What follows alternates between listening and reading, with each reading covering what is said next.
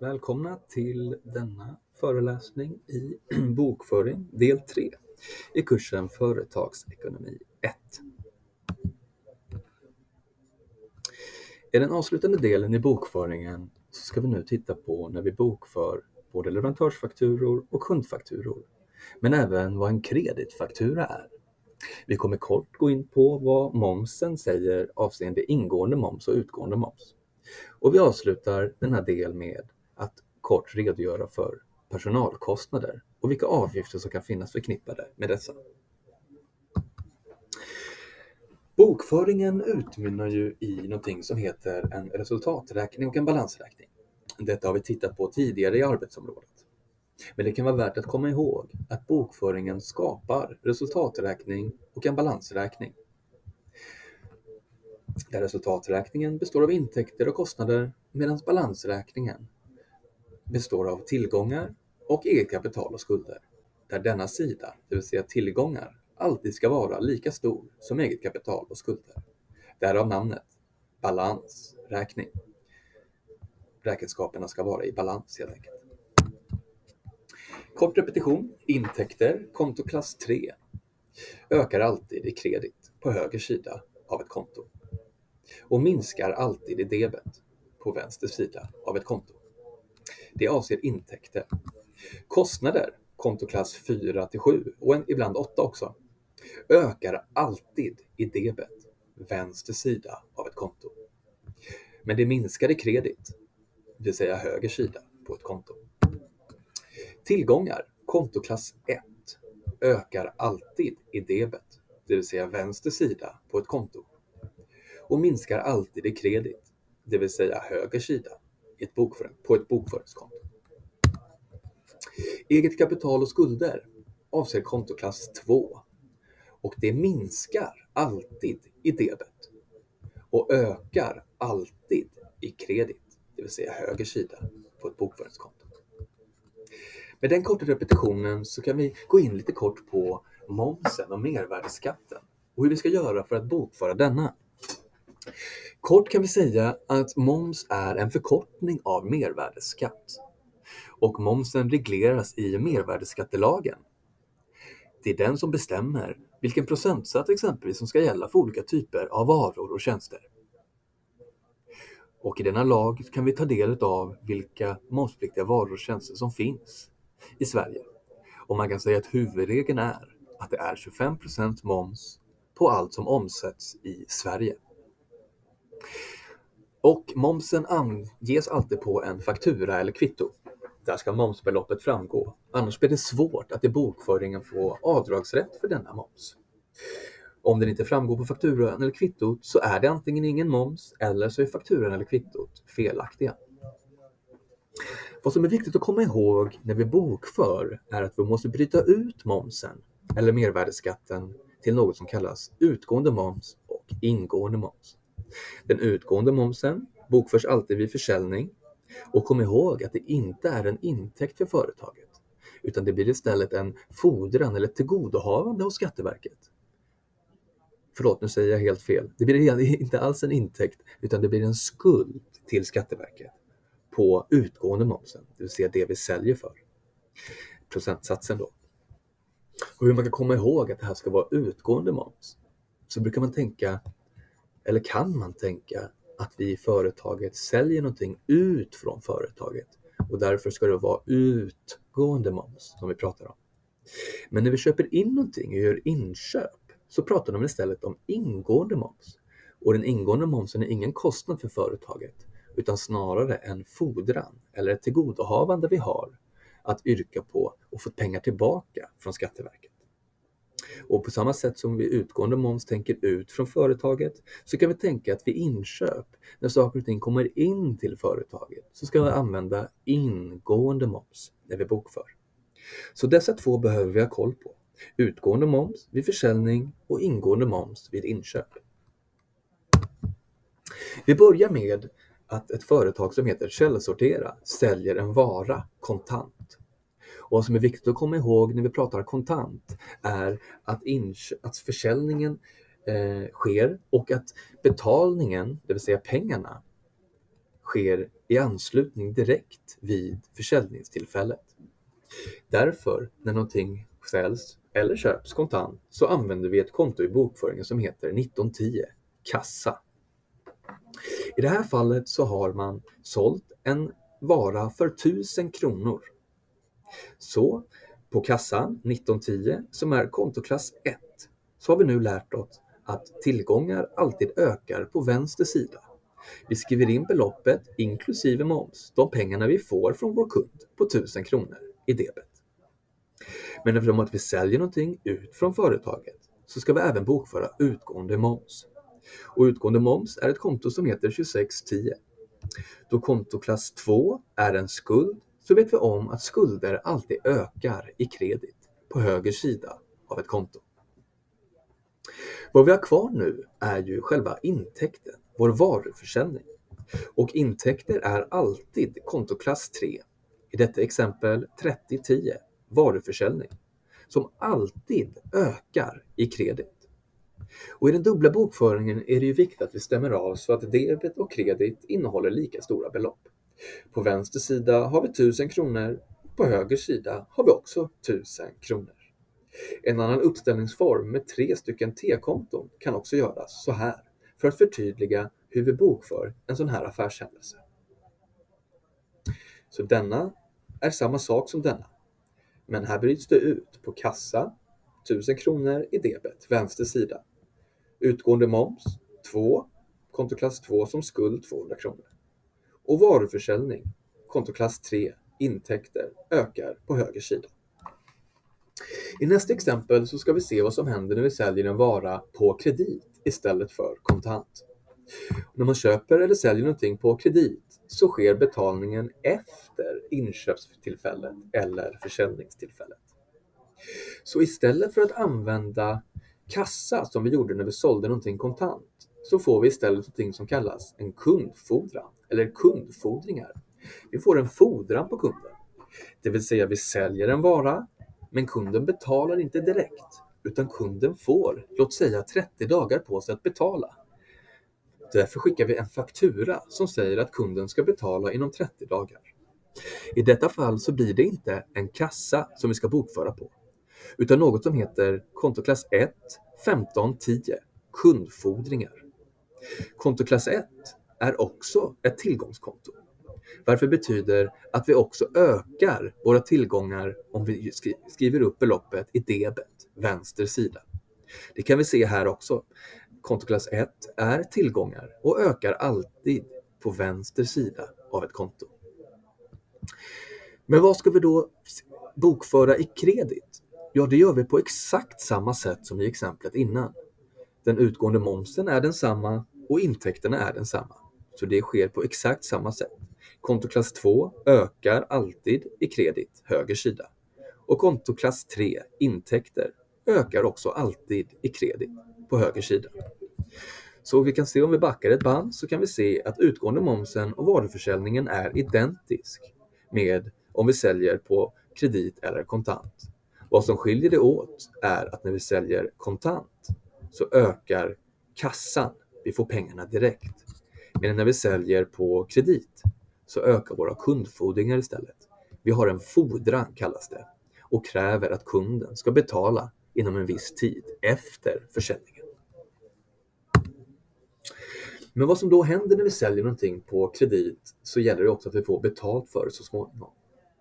Så här i exemplet så har vi att källsortera får betalt för denna kundfaktura på 1000 kronor. Och hur ska då det bokföras? Jo, det bokförs på följande sätt. Vi får in 1000 kronor till vårt plusgiro som egentligen är en typ av bankkonto. Och plusgiro har kontonummer 1920 och är kontoklass 1. Och som vi vet så ökar ju alltid tillgångar på vänster sida på ett konto om det är en tillgång. Så därför ökar vi och debiterar på vänster sida 1000 kronor i vår registrering. Medan kundfordringar istället går i kredit. Kontoklass 1 tillgångar som är kundfordringar minskar ju alltid på höger sida i bokföringen utav på detta konto. Så vad vi kan säga har hänt är att vi från början fick en fordran när vi bokförde upp vår varuförsäljning. Så den ligger ju debit där. Men sen när vi får betalt så måste vi ta bort vår fordran. Kunden har ju faktiskt betalat in 1000 kronor till vårt plusgiro, varför vi inte längre har någon kundfordran. Så i föregående bokföringsverifikation så hade vi 1000 kronor här i debet på vänster sida som nu går i kredit på höger sida, varför det blir noll efter dessa tre affärshändelser, eller dessa två kan vi säga, när vi säljer någonting på kredit. Så här uppstår kundfakturan när vi säljer varan på kredit och här regleras, det vill säga kvittas vår kundfaktura när vi får betalt för denna. Vi ska hoppa över från försäljning till varuinköp istället. Och där kan vi säga att när vi köper in någonting kontant så påverkas samma konto som vi pratade om tidigare, kassa 1910. 1910 börjar på konto 1, vilket innebär kontoklass 1 som är en tillgång. En tillgång minskar alltid i kredit på höger sida av ett konto. Så när vi i det här fallet har gjort ett inköp kontant på 2000 kronor så måste vi bokföra denna på konto 1910 kassa på kreditsidan, höger sida. Det vill säga tillgången minskar när vi gör ett inköp. Men när vi köper in någonting så har vi två konton till att tänka på. Det är dels ingående moms, konto 2640. Eftersom vi köper in någonting till företaget så ska vi bokföra det på någonting som heter ingående moms. I det fallet så är det 400 kronor som går i debet. Varför går det då i debet? Ja, vi kan tänka att kontoklass 2 som är ett skuldkonto, det ökar ju alltid i kredit, höger sida, men minskar i debet på vänster sida. Kvar då har vi ju att tänka på att dubbel bokföring så måste ju höger sida alltid balansera med vänster sida. Det vill säga debet och kredit ska ha lika stora belopp. Vad vi har kvar då är att vi har gjort ett varuinköp och väljer konto varuinköp som är konto 4010. Och kontoklass 4 är alltid kostnader som alltid ökar i debet. Så vad vi kan se här är att kredit innehåller ett lika stort belopp som debet. Och vi är nu klara med registreringen av den här affärshändelsen där vi gör ett varuinköp kontant på 2000 kronor. Men hur blir det då om vi gör ett varuinköp på kredit? Ja, då kan vi inte längre använda kassan, utan då får vi använda ett konto som heter 2440 leverantörsskulder. Leverantörsskulder ökar alltid i kredit. Det är kontoklass 2, vilket ökar på höger sida på ett konto. Och på samma sätt som vi gjorde när vi köpte in någonting kontant så blir det på samma sätt ett varuinköp på kredit. Att vi bokför ingående moms och ett varuinköp på debet, vänster sida av ett konto, för att få det att balansera då kostnader ökar i debet. Alltid på kontoklass 4 och kostnader ökar på vänster sida. Och på samma sätt när vi gjorde betalningen och fick pengar för en kundfaktura så har vi nu en leverantörsfaktura som vi ska betala. Och när den betalas från plusgirot så minskar ju kontoklass 1 alltid i kredit. Det vill säga vi minskar vårt plusgiro på höger sida. Pengarna försvinner från vårt bankkonto. Men samtidigt så har vi inte längre en skuld till vår leverantör. Skulden bokförde vi ju upp i tidigare när vi gjorde inköpet på fakturan och fick en leverantörsfaktura. Så då ökade skulden i kredit och nu ska den minska i debet, det vill säga vänster sida på ett konto.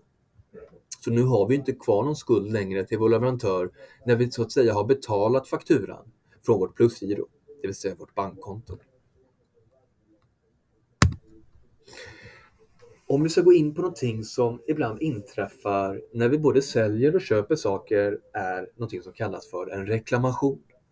En reklamation avser ett klagomål på en produkt på grund av någonting fel eller en skada på produkten eller tjänsten som vi har anskaffat eller sålt. Och den som reklamerar brukar man säga yrkar på någon typ av ersättning för på grund av denna skada eller fel. Här ser vi en kartong som kanske kan tyda på att de produkterna som ligger här i har blivit skadade på något sätt och inte brukbara och därför kanske vi vill yrka på en ersättning för att vissa varor är skadade vid denna leverans. Hur gör vi då i bokföringen? när det sker en reklamation? Ja, ett nytt begrepp som vi måste lära oss är någonting som kallas kreditfakturor. Kreditfakturor är något som ställs, som man får eller skickar när man reklamerar någonting. Någonting har blivit fel eller skadat helt enkelt. Vi får, för, för att förklara hur bokföringen går till så måste vi börja från steg ett för att förstå vad som händer på de olika bokföringskontona. I det här fallet så har vi, som vi kommer ihåg tidigare, fått en, skickat en kundfaktura på 1000 kronor inklusive moms. Kundfakturan har vi bokat upp på 1000 kronor. Vi har bokat upp en momsskuld, utgående moms på 200 kronor och vi har intäkter på 800 kronor. Men nu visar det sig att någonting var fel på de här varorna som vi skickade till vår kund. Och därför måste vi upprätta en kreditfaktura. Det vill säga, kunden ska inte längre betala 1000 kronor, utan vi ska minska vår fordran med 400 kronor. Och vad man kan tänka när man gör och bokför en kreditfaktura är att den ska bokföras precis tvärtom som den ursprungliga fakturan. Så om vi har 1000 kronor i fordran och nu skickar en kreditfaktura på 400 kronor så ska den bokföras tvärtom mot hur vi bokförde i den första ursprungliga kundfakturan. Så om den första kundfakturan låg i debet så ska kreditfakturan bokföras i kredit på konto 1510 kundfordringar. Och i det här fallet så var det 400 kronor som vi krediterar. Så kreditfakturan uppgår till 400 kronor inklusive moms. Men i den här fakturan på 400 kronor så finns en moms på 80 kronor och själva intäkten var på 320 kronor. Vi börjar med momsen, den utgående momsen. Den ökade ju som en momsskuld när vi sålde någonting i kredit för 200 kronor och därför måste vi använda tvärtom, det vill säga debet på vänster sida och bokföra på konto 2610. Varuförsäljningen som var 800 kronor sedan tidigare i kredit som intäkt måste nu minska med 320 kronor. Där har vi helt enkelt bokfört vår kreditfaktura som blir precis tvärtom mot ursprungsfakturan, men med andra belopp. Beloppet skiljer sig såklart beroende på hur stort beloppet kreditfakturan uppgår till. Det skulle kunna vara så i det här fallet att vi krediterar och gör en kreditfaktura på hela beloppet.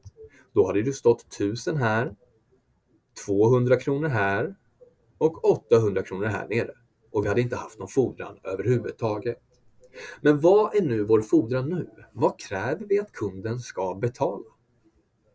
Jo, vi kräver att kunden ska betala 1000 kronor minus 400 kronor. Vår fordran som vi kräver från vår kund är så att säga 1000 minus 400, vilket är 600 kronor. Och när vi då får betalt från vår kund så betalar kunden in till vårt plusgiro som är ett bankkonto i kontoklass 1 som ökar i debet 600 kronor. Och vi minskar vår kundfaktura, våra kundfordringar, konto 1510 i kredit. Vilket betyder att våra kundfordringar nu är noll. Och hur kan vi se det? Jo, vi kan se att kundfordringarna är noll på de här tre affärshändelserna genom att titta på kundfordringar för respektive affärshändelse. 1510 debet 1000. 1510 kredit minus 400. Då har vi 600 kvar. Och 1510 kundfordringar kredit minus 600 blir 0 kronor. Vi ska lite kort också gå in på någonting som handlar om personalkostnader. Och personalkostnader brukar man dela upp i olika begrepp. Ni kanske har fått själv en löneutbetalning någon gång, eller så har ni inte det. Vad som är viktigt att komma ihåg i personalkostnader och löner när vi pratar om företag är att man brukar dela upp lönerna på bruttolön, avdragen skatt, nettolön och arbetsgivaravgifter.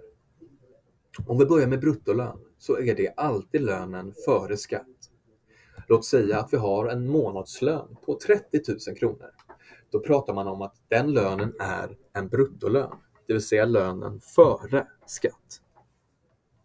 Tyvärr så är det inte för arbetstagaren då, den som arbetar i ett företag, den lönen man får på sitt bankkonto.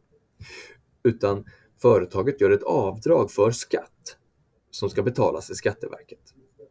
Och det är bruttolönen minus skatten som blir nettolönen. Och det är den lönen man får till sitt bankkonto som löntagare. Det vill säga bruttolön minus avdragen skatt är nettolönen. Och nettolönen är de pengarna som kommer till vårt, sitt privata bankkonto. Men för företagen så är det inte bara en kostnad för lön som man ska betala och kostnadsföra i sin resultaträkning. Utan det finns också något som kallas arbetsgivaravgifter. Ibland nämns det som sociala avgifter. Och detta är en skatt och en kostnad för företaget. Arbetsgivaravgifterna varierar beroende på hur gammal arbetstagaren är. Men huvudregeln är att man betalar 31,42 procent i arbetsgivaravgifter och denna beräknas på bruttolönen. Vi ska se en bild lite senare för att visuellt tydliggöra detta. Men lönekostnaden i ett företag är bruttolönen och sociala avgifter. Och dessa bokförs i någonting som heter kontoklass 7 som är personalkostnader. Och värt att komma ihåg är att den avdragna skatten, det vill säga avdragen skatt som är olika beroende på vart man bor och beroende på hur mycket man tjänar, så kan man ha oftast något som kallas en kommunal inkomstskatt. Och då går man efter olika skattetabeller, det vill säga vart man är folkbokförd. Och den skatten varierar såklart på vart man bor. Men låt säga att vi kan som schablon säga att man betalar 30% i kommunalskatt. Så denna skatt gör företaget avdrag för innan man betalar ut nettolönen. Men sen har vi också arbetsgivaravgifter som betalas till Skatteverket genom att man skickar in en skattedeklaration för arbetsgivaravgifter och avdragen skatt. I den här tabellen så har man gjort ett exempel för när och hur pengar flödar till antingen till den anställde eller till Skatteverket. I det här fallet så har arbetsgivaren, det vill säga företaget, kommit överens med arbetstagaren om en bruttolön på 30 000. Men det är inte 30 000 som den anställde får ut till sitt bankkonto, utan företaget gör avdrag för en preliminärskatt. Den här preliminärskatten, eller avdragna skatten, är ett avdrag som man gör för den anställde. Så den anställde ska betala en viss skatt på den här bruttolönen. Men företaget kan man säga hjälper den anställde med att göra det här avdraget och betalar in pengarna direkt till Skatteverket. I det här fallet så skulle vi då kunna slå 30 000 kronor gånger 30 procent eller 0,3 decimalform. Så får vi 9 000 kronor som blir preliminärskatt som betalas in till Skatteverket. Men sen var det ju ytterligare någonting som kallades arbetsgivaravgifter som beräknas på bruttolönen. Så en bruttolön på 30 000 gånger 31,42 procent är 9 426 kronor. Och dessa pengar är en kostnad för företaget och ska redovisas till Skatteverket. Preliminärskatten eller den avdragna skatten är också en skatt men det är inte en kostnad för företaget. Kostnaden är 30 000 i och för sig, vilket blir kostnaden i företaget. 30 000 bruttolön plus arbetsgivaravgifter. Men dessa två poster går till Skatteverket och är skatter, medan nettolönen är pengarna som går till den anställde. Detta var slutet på bokföringen del 3. I nästa område, eller nästa del i bokföringsdelen, så ska vi titta på bokslut som är den sista delen i detta väldigt omfattande stora arbetsområde. Jag önskar er lycka till och titta på videon igen om det finns oklarheter och otydligheter. Lycka till!